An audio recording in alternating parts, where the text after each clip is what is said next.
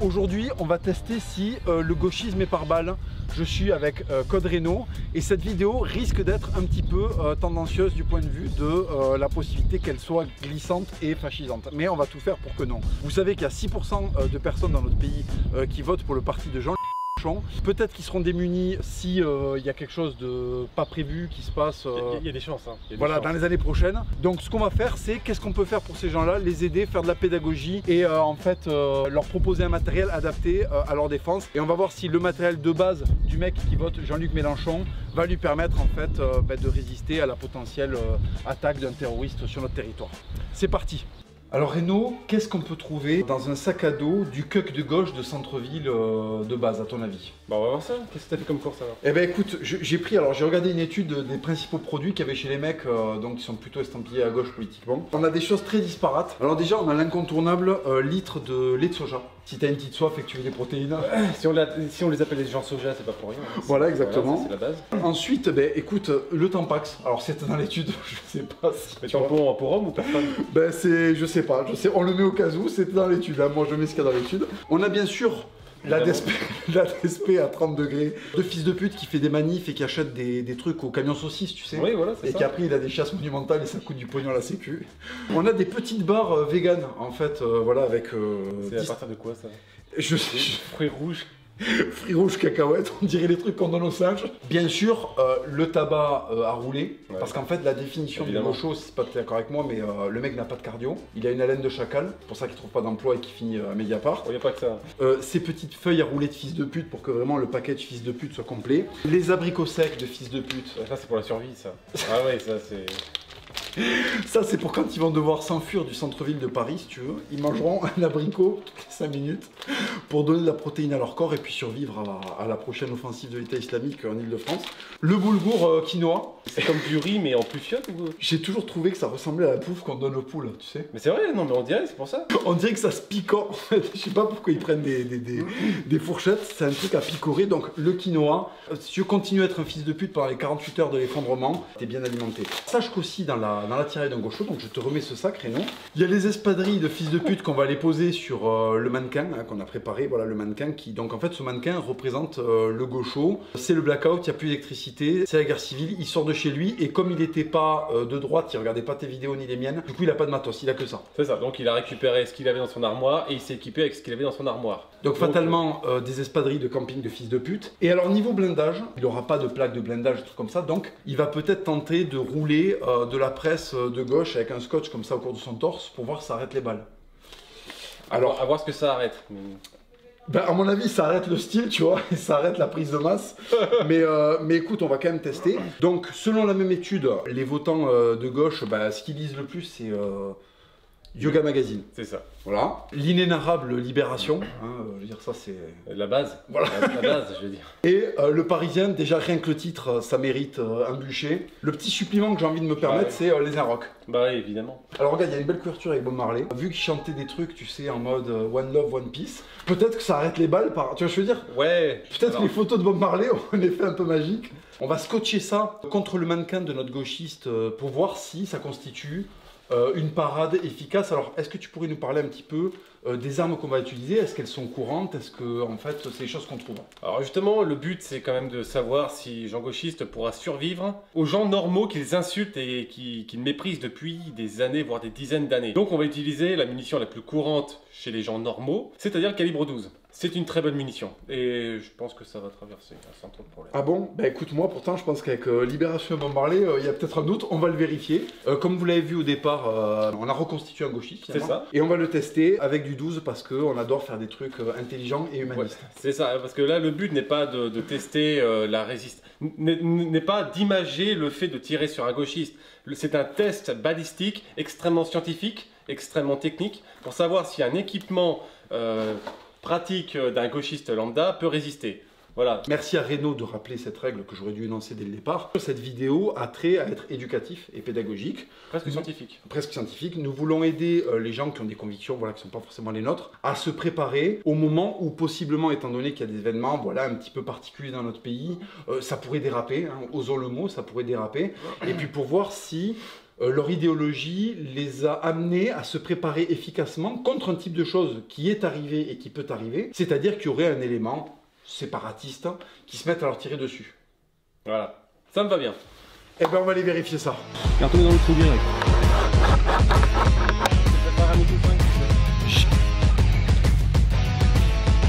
Euh, oui, parce que notre gaucho, euh, il a des revendications. Voilà. Alors Renaud, écoute, euh, donc voici le blindage qu'on va tester aujourd'hui. Donc euh, si tu veux bien le poser contre son ventre. Alors je pense, euh, ce, ce t-shirt, tu sais, c'est c'est vraiment pour dire à ses, à ses potentiels agresseurs qu'il est de leur côté. Ouais. Donc il faut le mettre le plus bas possible. Il faut le mettre plus bas possible pour qu'on Et en comprenne. même temps, voilà. il protégera son, Son bas-ventre. Voilà. Allez, c'est parti. Ça m'étonnerait que le gaucho de base ait du Chatterton chez lui, parce que ces fils de pute ne font jamais de bricolage à force d'aller sur internet et de demander à des mecs qui ont arrêté le bac 3 ans avant euh, de venir faire des trucs en leur prenant 80 balles alors que tu peux le faire à partir du moment où tu une paire de testicules, c'est pas grave. Donc on va faire comme si ce gaucho là, eh ben, il y avait quelqu'un qui était venu faire des travaux chez lui et qui avait laissé du Chatterton parce que je suis sûr qu'ils n'en ont jamais. Voilà. Donc vous voyez, ben, en fait finalement, euh, notre individu gauchiste est parfaitement protégé ben, par les éléments de décor qui composent euh, son appartement. Donc voilà, maintenant qu'on a fini le blindage, ben, je lui remets son sac euh, rempli de fils de puterie pour voir si ça va l'aider à traverser cette expérience. Donc aujourd'hui pour nos essais balistiques, on va tester le calibre 12. Pourquoi le calibre 12 Parce que c'est la munition la plus utilisée un petit peu partout en France. Les chasseurs, les tireurs, absolument tout le monde utilise cette munition là. Et en plus actuellement je suis dans mon jardin et c'est une munition que j'ai le droit de tirer dans mon jardin. Alors pour la sécurité déjà, cette munition là j'ai le droit de la tirer dans mon jardin. Mais euh, derrière on a quand même foutu des grosses planches de bois pour arrêter les munitions et une putain de plaque de fonte. Hein, sécurité oblige. Donc on avait pensé à tirer de la chevrotine. C'est une munition très puissante, très facile à trouver et très utilisée. Donc vous avez la normale, ou la cuivrée. Mais la munition qui est vraiment utilisée par tous les Français, et particulièrement grâce aux chasseurs, c'est ça, de la grenaille. C'est une cartouche remplie de plein plein plein de petits grains en plomb et j'ai pris la munition la plus puissante que j'avais sous la main, une 40 grains. À mon avis, ça va traverser, mais on peut essayer. Les gars, j'interromps deux minutes euh, cette expérience scientifique pour vous parler de Terre de France. Terre de France, c'est une entreprise que vous connaissez bien. Ils fabriquent et produisent des objets qui sont entièrement faits en France avec notre bon savoir-faire français. Quand vous achetez un produit Terre de France, l'entièreté des bénéfices sont reversés à des écoles rurales, à des associations d'anciens militaires ou de soutien aux forces de l'ordre. Sur leur site, vous allez trouver des trucs géniaux. Il y a des magnifiques drapeaux français avec des fanions dorés. Vous allez trouver un bougeoir médiéval pareil, fait en France, fabriqué en France avec des produits français. Vous allez trouver leur fabuleux sac qui reprend le code couleur de l'Indochine, merde, du marron et du kaki, c'est quand même ça le style.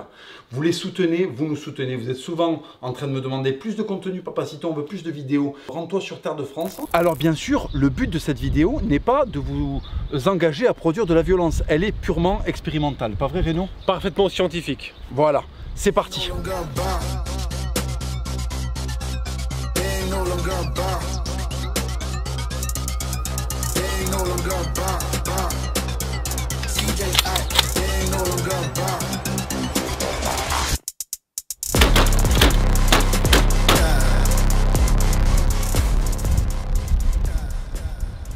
Je suis pas sûr qu'il ait survécu.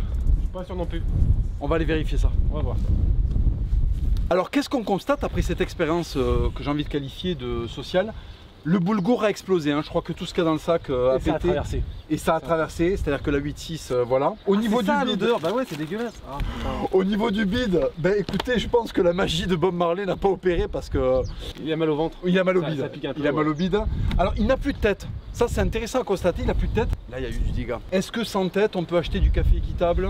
Alors certes, bon, c'est vrai qu'il a plus de tête. Après on peut faire plein de trucs sans tête. Tu peux toujours mélanger ton boulgour. Après dire de la merde et se prononcer euh, en faveur de la GPA PMA, bah, c'est- plus possible. Donc on voit quand même que si on n'est pas assez bien préparé, ça peut être incapacitant dans la vie de tous les jours euh, de prendre 6 balles de chevreau en pleine fif en fait. hein. Ouais, c'est ça. Voilà. Mais c'est vrai que là, notre expérience montre que il vaut mieux commencer à se préparer pour éviter euh, que ça finisse.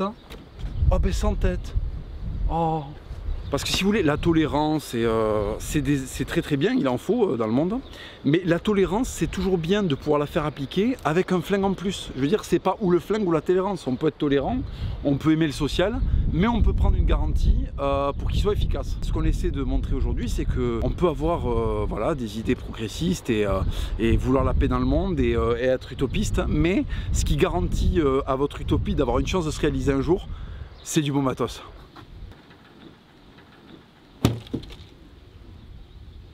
Alors, vous le savez, il y a des petites, des petites tensions dans la société française. À peine. Alors, l'idée, c'est euh, de se préparer. Tu sais que la population des sangliers augmente chaque année. Mhm. Et tu sais que les chasseurs, c'est 50% chaque année. Oui, c'est vrai. Et les chasseurs ont pour but, en fait, bah, d'empêcher euh, les sangliers, si tu veux, de se reproduire indéfiniment, parce qu'après, ils saccagent les cultures. Et donc, du coup, les hommes soja n'ont plus euh, leur soja à boire. Et en fait, pour ça, ben, on forme des chasseurs pour empêcher la population des sangliers de doubler, et ce qui permet ben, de ne pas dégrader l'espace euh, rural agricole. Donc, l'idée aujourd'hui, euh, c'est de vous expliquer comment on va parvenir, en fait, à rentrer dans ce monde euh, des chasseurs pour empêcher euh, la population euh, des sangliers de, par exemple, rentrer dans votre jardin et faire un dégât euh, dans votre propriété privée. Voilà. Il y a une fédération de chasseurs, il y a des départements autour de vous, il y a forcément des formations de chasseurs. Vous vous inscrivez sur Internet, ça coûte euh, 180 euros, quelque chose comme ça, 150 euros. Il y a un petit quiz, vous le passez, vous avez droit à posséder une arme de catégorie C. Qu'est-ce que c'est qu'une arme de catégorie C? Ben Déjà, euh, c'est une assurance de vous faire respecter dans les moments où on remettra en doute vos convictions. Et euh, je vous propose, avec euh, mon ami Code ben, de vous présenter quelques armes auxquelles vous pourrez accéder avec un simple permis de chasser, ce qui vous permettra de neutraliser un sanglier qui rentrerait dans votre salon par inadvertance. Bon, déjà, sans parler de catégorie C, de permis de chasse, de, licence de tir ou quoi, déjà que sans rien du tout, juste avec une pièce d'identité qui prouve que vous êtes majeur, vous pouvez déjà avoir des armes de catégorie D comme celle-là, des armes à poudre noire. Vous avez en 36 ou en 44, et euh, une munition comme celle-là, ça vaut à peu près un petit peu moins puissant que du 9 mm. Ce qui est déjà pas mal, surtout que bah, sont en vente totalement libre. Alors déjà en catégorie C, si vous voulez shooter un sanglier, bah, la base, c'est ça, le calibre 12. C'est ce qu'il y a de plus fréquent et c'est ce qu'il y a de plus efficace. Celui-ci, c'est un modèle euh, superposé. Euh, je l'ai acheté comme ça. Il est absolument pas retouché pour l'instant. Et il fait très bien son taf. Un truc comme ça, je l'ai acheté 150 euros dans une bourse aux armes. Ça coûte rien. Euh, Comme ça, 150 balles. Que vous n'allez pas sur Nature Bail. 150 balles pour se faire écouter, mais je trouve que c'est pas cher payé. Ensuite, vous avez les juxtaposés comme celui-là. Alors lui, il a été un petit peu modifié, je sais pas si ça se voit. Euh, déjà, j'ai foutu la possibilité de mettre des cartouches en plus, déjà. Et surtout, je l'ai fait recouper par un armurier. Il me l'a recoupé à la limite légale de, de- taille, donc 80 cm. Il doit faire 82 cm avec euh, la plaque de crosse. Et il a poussé le vis encore plus loin, me ressoudant euh, pour, pour la bretelle. Ça sert à rien, mais c'est là. Et juxtaposé, c'est une base largement exploitable. Cartouche de neutralisation. Alors question, euh, à partir du moment où un mec, hein, euh, imaginons, hein, qui regarde cette vidéo, il a passé son permis de chasse, il peut accéder à une arme, une arme comme ça, qui va le défendre contre n'importe quel sanglier moyen qu'on peut croiser en ville. Ah celui-là, euh, si tu mets de la chevrotine ou de la balle dedans, ça te l'arrête tout de suite. hein. C'est vraiment 180 euros et un quiz de merde qui vous sépare de pouvoir accéder à l'assurance d'être entendu quand vous avez quelque chose à dire. C'est exactement ça. C'est quand même fou. Ensuite, arme un petit, peu, différente et beaucoup plus difficile à utiliser, le semi-automatique. Un grand classique également, celui-ci c'est un modèle turc. Il permet euh, d'avoir un fusil exactement le même. Celui-ci est un peu plus puissant, c'est un 76, mais à trois coups. Donc deux cartouches euh, dans le chargeur tubulaire et une cartouche dans la chambre. Après le calibre 12, c'est bien, ça permet d'arrêter le sanglier, mais si tu veux arrêter du petit lièvre, tu tires une cartouche de chevrotine dans un lièvre, il te reste, euh, il te reste une oreille et demie. Donc euh, vous avez euh, les armes en 22 long rifle. Alors d'après un expert BFM, ça va jusqu'à 1500 km. Précis jusqu'à 1500 km. Le problème c'est que c'est un expert BFM, donc c'est de la merde. Niveau précision, faut compter pas plus de 100 mètres. Et ça, pareil, une catégorie C, ça passe. Alors, c'est vrai que la guerre, euh, c'est quand même un truc qui met au pinacle l'efficacité. Mais je trouve que le style est très très important. Et quitte à prendre une balle euh, au bout de deux semaines, l'important c'est quand même de tomber en étant stylé. Renault vous a montré euh, les armes. Là, on va passer à l'équipement. Le premier truc, c'est d'avoir un treillis. C'est pas obligatoire, mais moi je trouve que c'est méga stylé. Notamment le Tiger Stripe. Pourquoi? Parce que c'était le treillis que mettaient les types qui étaient un petit peu instables et qui allaient faire des crimes de guerre dans les villages vietnamiens, dans le Mekong. Alors je sais, c'est très très sale, mais maintenant c'est de l'histoire. Donc on a le droit. Et en fait, je trouve qu'il est adapté à la forêt européenne d'hiver, parce qu'il est un petit peu sombre, il était trop sombre pour la jungle, mais je trouve que la, forêt européenne euh, en hiver c'est génial. Si vous vivez à la campagne comme moi, que vous aimez le style comme moi, parce que vous êtes un putain d'arbonoïde euh, sudiste, foncez, chopez-vous euh, un tri Tiger Stripes. Si vraiment vous êtes un raglo comme moi et que vous avez vraiment pas de budget pour acheter euh, des gilets stylés que les mecs qui s'y connaissent en arme à feu kiffent hein, et que vous êtes comme moi et que vous n'y connaissez rien, achetez-vous des trucs qui sont stylés. Je peux mettre une grenade, un talkie-walkie, je suis stylé. Au, je- au Chatterton. Des pochettes, c'est des pochettes en plastique qui nous viennent tout droit des années 80. Ce sont des pochettes de la RDA, des pochettes allemandes. Alors ce que j'aime beaucoup, c'est que regarde, ça fait pas de bruit, c'est rigolo, c'est un mon style, je mets une heure pour la refermer, tu vois, voilà. Je peux mettre à peu près tout ce que je veux dedans. Moi, j'avais prévu de foutre des chargeurs de 12 dedans. Je trouve que les chargeurs de 12, c'est stylé. Il y en a qui sont des chargeurs de 12 par 5, et typiquement, là, ils contiennent. Donc, euh, ça peut être pas mal. Ça allie à la fois style et efficacité. Ensuite, bien sûr, comme toute personne qui souhaite commettre des crimes de guerre sur sanglier, vous avez l'incontournable couteau, quoi. Le buck qui a fait un petit peu, ses, qui a fait un petit peu ses- ses- sa réputation à l'époque de euh, quand il fallait pacifier l'Amérique et que euh, Custer et sa division de cavalerie étaient en train de montrer aux Indiens les bienfaits de la civilisation occidentale. Donc ils avaient ce genre de couteau, très impressionnant, euh, fonctionnel à fond. Bon, euh, tactiquement, ça se voit de loin. euh, Il y a des trucs, euh, il y a des trucs chromés, mais c'est ça. Mais la guerre, c'est aussi le style. En Yougoslavie, tout le monde se rappelle d'Arkan. Pourquoi? Parce qu'il trimballait un tigre sur le front. Qui fait ça Personne, sauf les mecs qui ont sauf de style. Donc moi, je veux faire partie des mecs qui vont au front avec des couteaux pour dépecer des bisons, parce que c'est stylé. Ensuite, le béret. Pourquoi? Ça n'a absolument aucune utilité. C'est juste que Saddam en mettait un et que je trouve ça méga stylé. Alors, vous pouvez le décorer avec des petites choses, par exemple des insignes régionaux, des insignes un petit peu, voilà, rigolos, voilà, ou euh, d'autres choses qui ont un petit peu plus à voir avec l'histoire. Pour le style, faites-vous plaisir. Souvent, quand il y a une, une invasion comme ça de, de, de De sangliers, ouais. c'est souvent les dernières semaines de votre vie, parce que faut pas croire, la guerre ça tue des gens et euh, en fait il faut, il faut être prêt à crever. Et moi je préfère vraiment crever avec du style qu'avoir une espèce de tenue. Mais il y a plusieurs écoles là-dessus. Code Reno, lui, il connaît ce qui fonctionne vraiment en termes tactiques et en termes d'efficacité pure. Ma phase à moi, c'était pour rigoler. Maintenant, place professionnelle, Reno, on t'écoute. Bon, évidemment, je ne valide absolument pas ce qui a été dit par Papacito. Vous savez ce que je pense du Tactical. Euh, c'est de la merde, clairement. Euh, le style, c'est bien, mais euh, on en a rien à foutre. Donc, petit gilet de combat qui est fait pour une arme de calibre 12. Des porte-cartouches à scratch. La petite pochette pour les cartouches spéciales. Mon fusil, ici, c'est que de la chevrotine. Les munitions spéciales, c'est ici. Cartouche de décomptage et balles. Ensuite, ici, le garrot et euh, à côté, la radio directement fixé avec un casque électronique comme celui-là, comme ça qui permet de pouvoir, euh, un, euh, retirer les bruits des armes à feu, deux, de pouvoir discuter tranquillement avec le pote à côté, et en plus d'avoir la radio sans avoir touché à quoi que ce soit. Comme Scratch, bon bah les trucs euh, régionaux, etc., c'est très bien. Le seul et unique Scratch que j'utilise, c'est celui-là qui permet de savoir de quel groupe sanguin tu es et éventuellement survivre. Vous l'avez compris les gars, il y a deux écoles. Euh, le Mexique euh, pour mourir vite mais avec du style. La France pour durer et puis quand même pour avoir euh, un minimum d'efficience sur le terrain. Bon, pareil, ton treillis, bah, il, est, il est joli, hein. mais par contre, tactiquement parlant, c'est un petit peu de la merde. Personnellement, quand je suis en train de m'entraîner, ou alors je vais au stand de tir ou quoi que ce soit, je suis tout le temps en vêtements de travail, donc je suis tout le temps équipé en optial. C'est bien, c'est pas cher, c'est ultra résistant, c'est cool. Et quand je travaille, quand je donne mes formations ou quoi, je suis avec euh, ces treillis-là, donc euh, cette couleur-là, et ce treillis-là en particulier, donc un UF Pro. Ça coûte un peu cher, mais par contre, c'est le top. On est au combien On à combien aux alentours là euh Niveau prix, alors celui-là, il doit coûter environ 200 euros. de- Ah ouais, quand même. 200, 220 euros, je crois, un truc comme ça. Et euh, cette veste-là, elle coûte 100 euros. Bah écoutez, moi mon euh, il coûte euh, 60 euros et quand même il est très très cool. Ah bah oui. Voilà. Alors c'est vrai qu'un mec qui se balade en treillis c'est pas normal jusqu'à ce que ça le devienne. Tu sais. Voilà, Quand ça. en fait, quand en fait il y a des situations particulières, il peut y avoir des mecs comme moi qui déboulent dans le paysage. hein. Plus depuis les années 80, mais euh, j'essaie voilà justement de réinstiguer un petit peu de style dans toute cette praticité. Renaud, merci beaucoup pour cette euh, petite expérience scientifique. Merci de nous avoir accueillis chez toi. Merci de nous avoir prêté ton setup pour la vidéo. Merci également à Terre de France, euh, voilà, qui nous a permis encore une fois de faire euh, une vidéo pour votre bon plaisir. Et je te dis à la prochaine, Renaud. Ciao.